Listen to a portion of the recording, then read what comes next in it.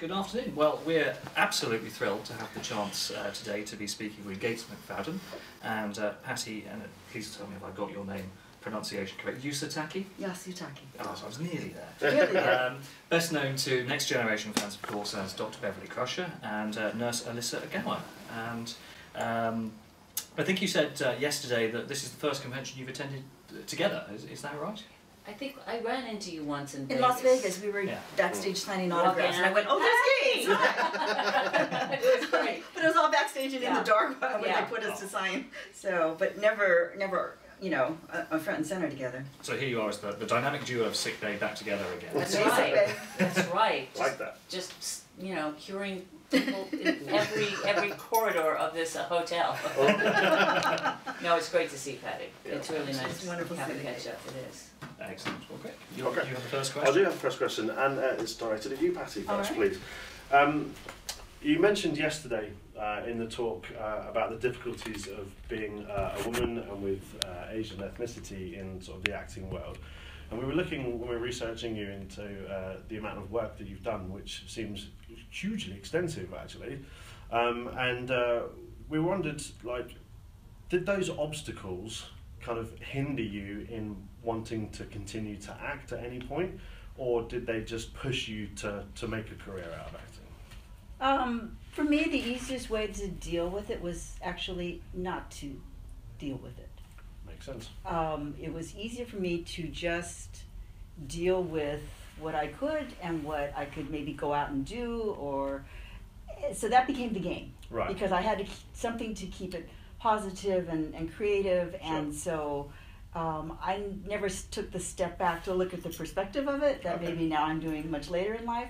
But at the time, going on the journey, it was enjoying that journey, and so everybody, everybody in, in the acting world is going to hit it, their own obstacle. Sure, of course. So yeah. I didn't classify it, or and maybe it was a way bigger one than somebody else, but I, I wasn't there to judge any of that because I didn't want to know. I just wanted to know: here's a problem, can I solve it?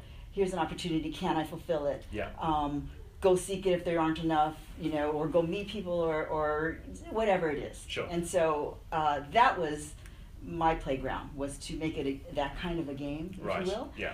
And I was always only looking back to say, oh, reach the, net. I have another year under my belt. I'm still working. Oh, I have Excellent. another year under my belt. Oh, it's a little slight right now. Well, maybe I'll go back and do this other project in the meantime. So that was kind of my game. And then later, you go back and go, wow, 30 years. And I somehow made, made, a, made enough of a career of it in this business. So it, it turned out like that. Ignorance was bliss. Perfect way to look at it. Brilliant.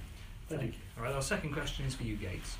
Um, we've got an email that, that Greg's going to try and pass to you a little later. It's from a friend of ours in the States who uh, didn't get a chance to meet you on another occasion.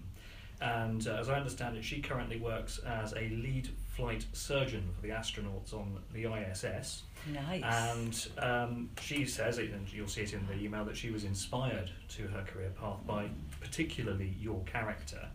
And our question is this um, How often do you hear of, of women in particular saying that they were inspired by the character of Dr. Beverly Crusher? And are there any instances that you can remember and tell us about? You know, I'm deeply moved by it, to be honest, because I know how important it is to have role models. And Mm. I think, as someone, as a, when I was growing up and becoming a woman, I found it really hard. Mm. Um, I did find the world pretty sexist, and um, so when I have a woman who comes up to me and says she just pops in and I think she wants an autograph and she says no no I don't want an autograph. I just want to tell you I became a surgeon because of your character.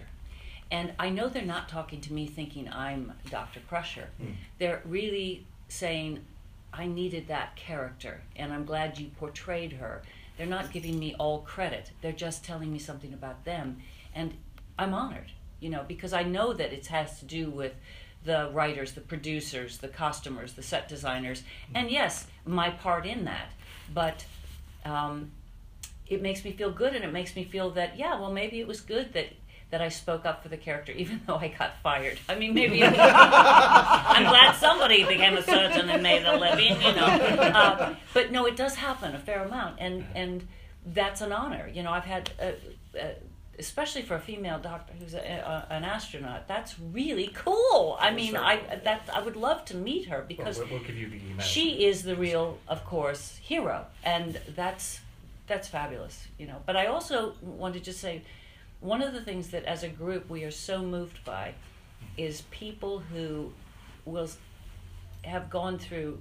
There was one um, veteran who had uh, stepped on a, a landmine, and he had 101 surgeries. He was a lot of his body was no longer there, and he said, "I." They had it on every night, and that's what helped him to get through it. Was to project onto us and to see something positive, and to see how we were not just going to war, and that is so moving to us that we we start to understand what the show was really about. It was about having future, Mm. And a future that we're all you know getting along in, it's a positive future. Okay, I think we, we've only got time for one question, um, so we'll skip to the last one if that's okay. Yeah, absolutely. Yep. Um, Gates, you, you mentioned that you and your son are arranging a music festival. and We Yes. just wondered if you could tell us a little bit about that, because we understand it's Oh, here in how Europe. exciting! yes, it is. Um, I have a place in Languedoc. We have a Yes. place, and um, my son's a violinist and a composer, and I um, am very happy to say that we've started to do a music um, festival. And right now, it's outside, and it's a beautiful, beautiful um, venue. Uh, and there's a, a, a restaurant, and you sort of it's just like what you would hope for if you were going down, and it's it's uh, nighttime, and you have beautiful music that you're listening to, and Mm. uh, you have food and wine. It's um, a friend of mine who has a vineyard, and so it's a perfect location. And one of the things that we're working towards is actually doing an original theater, uh, multimedia, or opera, where we already have a couple of our themes and ideas, but it's take, going to take years to Right. raise the money and do all that. But really exciting things on site-specific areas that are down in this region. It's a gorgeous, gorgeous region.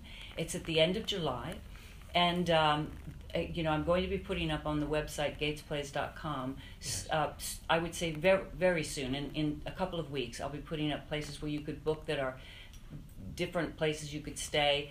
It's an area so worth exploring, and it would give me so much pleasure to sort of share this area of the world. France, going to France, going to Europe changed my life, and um, it's it's a region that I adore, and I've spent years um, in that region getting to know people, and uh, it's a fantastic place. Well, thank you so much. So Thank everyone you. needs to look at gatesplays.com. That's correct. Okay. Okay. Well, thank you so much. Thank ladies. you Thank very, you very much. much. Thank you. Okay. Thank you. Bye.